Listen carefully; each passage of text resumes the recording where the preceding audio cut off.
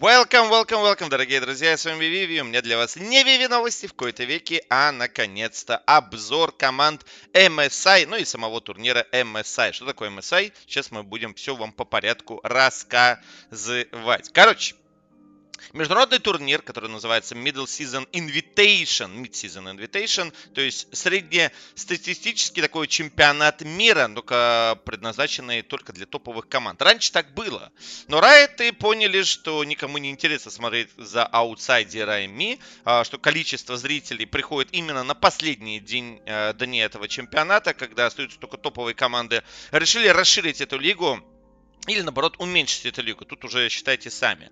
А, первое изменение было еще сделано в прошлом году, когда команды разделили на слабых и сильных. А в этом году вообще решили убрать команды практически wildcard региона. И у нас осталось всего 4 команды из wildcard региона. Это команда PCS региона, то есть Азия, вьетнамский регион, латиноамериканцы и бразильцы. А корейцам, китайцам, европейцам, американцам дали по два слота на этом чемпионате. Многие спросят, а что это по американцам два слота? Но они все еще официально считаются major лигой, так э, называемой, то есть большой лигой, большой брат. Ну, знаете, как на Евровидении, например, Австралия, Германия, они без э, этого приходят всегда туда. Ну, финансирование идет от кого? Тот и должен иметь там слот э, квалификационный постоянный.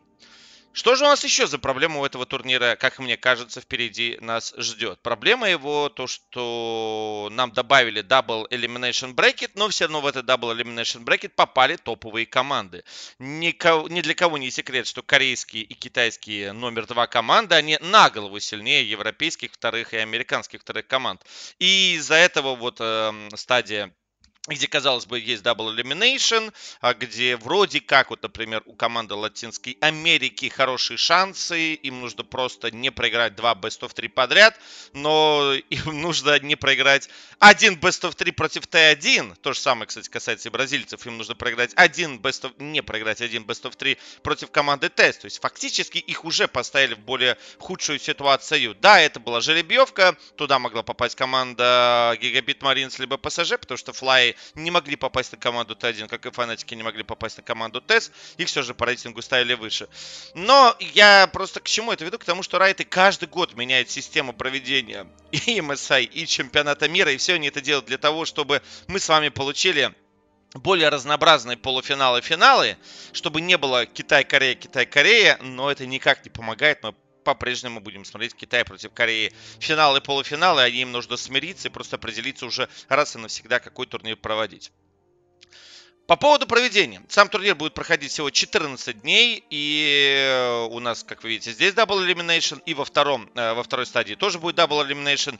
Четыре топовых команды, победители своих регионов, они уже находятся в квалификационном раунде, а, то есть во второй стадии. Соответственно, ниже топ-8 они занять не могут. Команды, которые здесь вылетают, они занимают, получается, 11-12 место. Я чуть впереди расскажу рейтинг этих команд.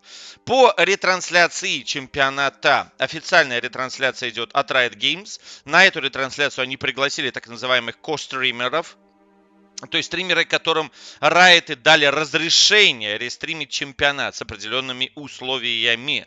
А, мой любимый Сники, Метиус и Дабллифт будут этим делом заниматься. Насколько я вижу, Кайдриэлю это дело не разрешили, потому что я его вроде здесь не увидел в этом списке. Причина, по которой Кэдриэль не получил разрешения, мне неизвестна, но среди англоговорящих еще будет ЛС, еще будет Авил Доминейт и Мистер Чим Чим. Латиноамериканцы представлены вот этим списком, бразильцы этим, по европейцам, а не, вру, Кэдриэль есть, прошу прощения, я что-то его искал, искал, первый раз не заметил, прошу прощения, он есть. А, Джак Спектра, Ямотакен, Кэдриэль все же есть, а, не знаю, кто такой Джизуку, кто такой Хузя. Я знаю, ребят, что Смурф подавал там э, заявку в Твиттере, да, ну, заявку в Твиттере, это как э, пук в пустоту, а, что он тоже хочет заниматься этим рестримом, говорил там жалобные слова, что вот русского языка нет, а, лигу как будто все забросили, но я уже говорил, ему надо было писать напрямую Ру Райтом, чтобы эти жопу свою подняли и начали добиваться для Ру сегмента Э, тоже своего языка, потому что, как вы видите, Европа и Middle East и Африка, языка русского здесь просто в помине нет. Возможно, уже Ру Райт и пытались пробиться и заполучить э, себе вот эту базу, но, возможно, они это пытались сделать для Flash in the Night, а тем не понравился Flash, и поэтому они отказались. Хотя не знаю, что им не понравился, он вроде бывший киберспортсмен, и я даже помню, на All Stars ездил и так далее, а могли добиться этой для Diamond Prox, все же бывший киберспортсмен, ну и для Смурфа, соответственно, тоже бывший киберспортсмен. Просто я думаю, там все как. Это то же самое, как вот я знаю, у Российской Федерации есть большая проблема с министрами спорта, когда начинают гнобить какой-то вид спорта ну, там, из-за санкций или просто а министры, они ничего вообще с этим не делают. Я сколько смотрел, там просто всех спортсменов лишает медалей или лишает всего, они вообще ничего не делают. То же самое и здесь. Такое впечатление, ну, э, Райты завтра придут, скажут, ой, слушайте, мы русервер решили закрыть. Эти вообще ничего не сделают, будут сидеть смотреть на это и скажут, ну и ладно. Типа, хоть зарплату нам продолжали платить до последнего дня, мы и то рады. Лучше не отсвечиваться, но, видимо, такая политика у Рурайтов, потому что я чисто действительно не понимаю, а, почему это происходит. Я просто напомню вам, что, например, чемпионат Европы, я сам писал американским райтам, они меня связали с европейскими райтами, с э, режиссером европейского чемпионата, я с ним общался, с ним договорился уже все. И потом он мне лично даже написал, сказал, что, я, что он пообщался с рурайтами, рурайты пообещали устроить чемпионат, э, ретрансляцию, устроить ретрансляцию чемпионата Европы, и я могу теперь написать рурайтам, и они меня пригласят в команду. Я написал рурайтам, они меня не пригласили в команду. И для меня это был просто шок, потому что получилось так, что я сам это все пробивал, Рурайты получили возможность ретранслировать европейский чемпионат, а меня туда даже не пригласили. Ну, после этого я решил больше не пытаться пробиваться, потому что, ну, там, видимо, вы поняли, как все работает. Короче, к чему я это веду? К тому, что ру-трансляция запрещена. Ну, получается, что ни один человек на русском языке не может транслировать, потому что его здесь в списке нет. А, можно рестримить все еще пиратский, там, на Гудгейме, ВК Play. Туда руки райтов не добираются. Мы, скорее всего, так и делать с вами и будем. Либо стримить лицом, вот как мы это обычно с вами делали. Ну а записи. Когда же записи выкладывать можно? Правила, я так понимаю, сохранились те же самые. Через 24 часа после проведения эфира можно выкладывать записи. Плюс их надо резать. Плюс там надо, чтобы они были короткие и так далее. Ну, с этим будем уже разбираться по ходу самого чемпионата MSI. Райты к записям очень редко приставали, так что, думаю, записи на ютубе вы посмотреть сможете того, как я прокомментировал тот или иной матч. Буду ли я этим заниматься? Вопрос э, открытый. Скорее всего, буду, потому что мне все равно нечем заниматься эти две недели. А, ровно две недели осталось до конца сезона Лиги Легенд, и потом новый сезон, обновление рейтинга, а я уже везде Даймонд взял, кроме как в ТФТ, и больше делать нечего, просто сижу, фигней страдаю. Так что MSI могу как раз эти две недели покомментировать, соответственно. Ну и переходим теперь к рейтингу команд. Рейтинг команд очень простой у нас есть два суперлидера, это чемпион Китая, чемпион Кореи. А, ими поставил 9,5 и 9 и 2 балла. Почему китайцев оценил выше? Ну, два последних турнира выступали китайцы выше, лучше. Что касается команды Т1 и команды Топ Esports, у Топ Esports замена произошла их игрока руки на молодого крема, у него крем, никогда и крем, молодого мидлейнера, и я пока в нем совершенно не уверен. Ну и более того, против команды Bilibili Gaming они выглядели гораздо хуже, чем команда Т1 против команды Джинджи. Что, что же происходит с чемпионами мира, спросите вы? Команда Тедди, почему такой низкий рейтинг? У них было мало практики игровой. Как вы знаете, их дедосили почти два месяца. Они не могли практиковаться, тренироваться. Не знаю, что сейчас в Китае происходит. Начали ли они снова играть, начали ли они тренироваться на каких-то отдельных серверах, где до них дедосеры не добираются. Убежали ли они от вот этого сегмента дедоса. Либо нет. Если нет, то можно даже рейтинг еще ниже им ставить. Но я думаю, они убежали, сейчас будут форму набирать. Так что их 8,7 это потенциальные 9,5, если они наберут форму. Но пока формы у них нет. G2 хуже стали, чем были в прошлом году. По крайней мере, по чемпионату Европы это так выглядело. Они не выглядят сейчас прям мега-мега доминаторами. Какие-то партии сливают, что-то там веселятся. Ну, все равно 8 баллов они своих стоят. Тем более, что они должны быть вот этим вот, вот этой ступенью между не крутыми командами и крутыми командами, знаете, они вроде к крутым не относятся, команда G2, но и к не крутым они тоже не относятся. Вот они свой какой-то Б-категория.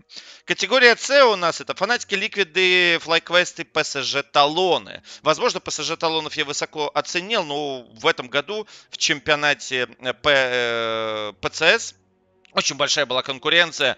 Там и топовые другие гонконгские команды участвовали. То есть вот э, из Вьетнама, э, из, из Вьетнама, извините, из Тайваня, Гонконга. Там и японцы участвовали, там и Австралия Океане участвовала. Там очень плотный турнир был, и в этом плотном турнире, в этой мясорубке команда ПСЖ Талон все равно осталась чемпионом, и за это можно им высокий рейтинг за, ну, завысить немножко. Потому что так-то я бы их, наверное, где-то 6 баллов ставил, но 6,7 ставлю им за это. Что касается американских команд, FlyQuest вроде чемпионы, но почему-то Ликвидов ставлю выше. У Ликвидов э, сборник игроков более опытный на международной сцене, и они, честно, по чемпионату Америки выглядели посильнее FlyQuest. FlyQuest просто выступили в плей-оффе лучше, чем Team Liquid. Ну, это нормальная тема, это, знаете, как Cloud9 на чемпионатах всегда выступает лучше, чем у себя дома. Поэтому Оценку ликвидом я поставил выше, ну и все равно не намного. А FlyQuest ради шутки 6,9 баллов влепил. У них там молодые игроки есть, которые могут им провалить.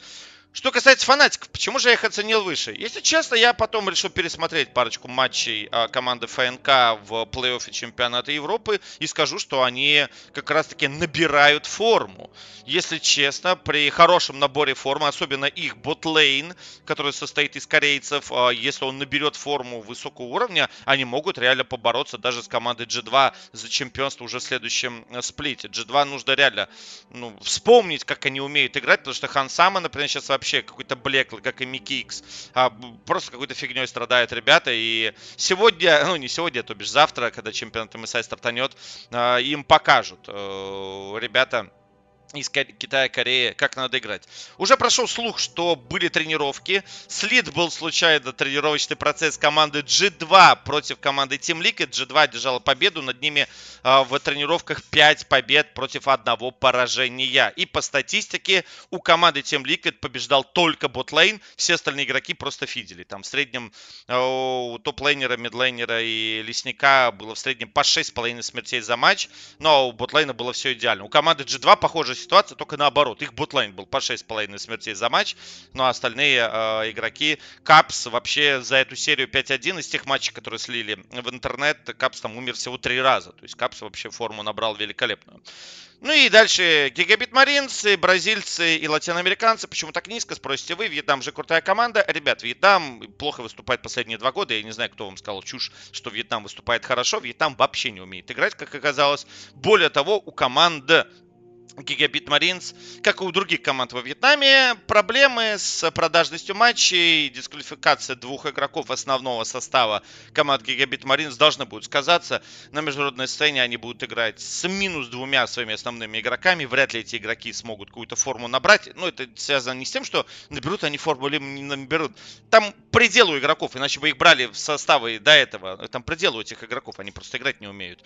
Ну и придется Гигабит Маринсам мучиться. Я бы даже, возможно, их еще ниже поставил, но, к сожалению, я посмотрел латиноамериканскую и бразильскую лигу, там очень слабо играли. Хотя, если взять прошлый год, Лауды как раз-таки побеждали вьетнамцев и почти вышли в финальную стадию чемпионата мира, но им чуть-чуть не хватило. Во втором круге они попали, по-моему, на ПСЖ талонов, и там вот 0-2 отлетели. Если бы они попали не на ПСЖ талонов, а снова на вьетнамцев, они бы прошли их. Но, к сожалению, там вот так вот структура была устроена. Ну и э, эстралы, это всегда Латиноамерика Америка самое последнее место держала. Пару раз только обгоняя японцев, а теперь японцев нет. Кого обгонять? Ну, посмотрим. Кого. Короче, вот такое предсказание на первый круг. А, если что-то будет здесь не так, я потом буду галочки ставить себе тоже заметки, что я здесь не угадал, ну или не не угадал, а плохо предсказал.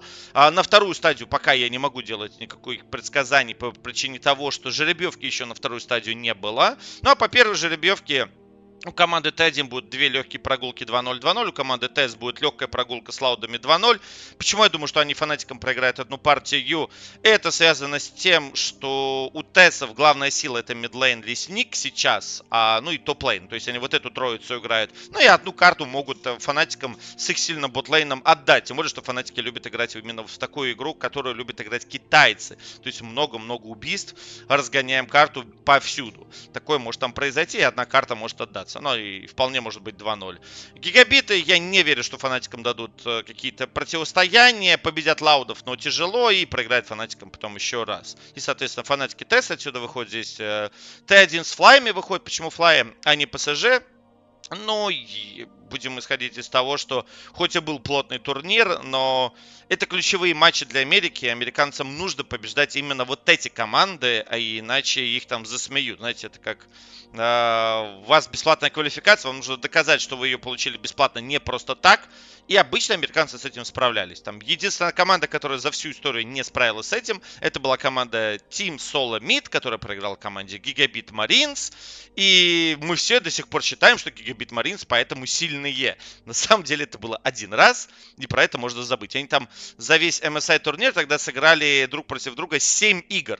Вот. 7 игр. И команда TSM им проиграла по итогу 4-3. А, в другом э, виде всегда Вьетнам проигрывал Америке, всегда Тайвань проигрывал Америке. Это, ну, с незапамятных времен там. Что Флэш Вульфы проигрывали там Cloud9, TSM, что PSG Талоны проигрывали CLG и те же самым TSM. Так что я ожидаю здесь того же самого. Возможно, возможны варианты, где Флай проиграет первый круг, но во втором квалификационном матче, когда Т1 отправит вниз ПСЖ, они все же их отдали. Такой вариант возможен. Но будем, конечно, посмотреть. Завтра уже стартует чемпионат, сегодня 30 число, соответственно, первого стартует. Вечерком сядем, чипсики откроем и будем посмотреть. Вот и все. Ставьте лайки, подписывайтесь на канал, чтобы ничего не пропускать. Рейтинг, надеюсь, вам понравился. Ждем следующую стадию.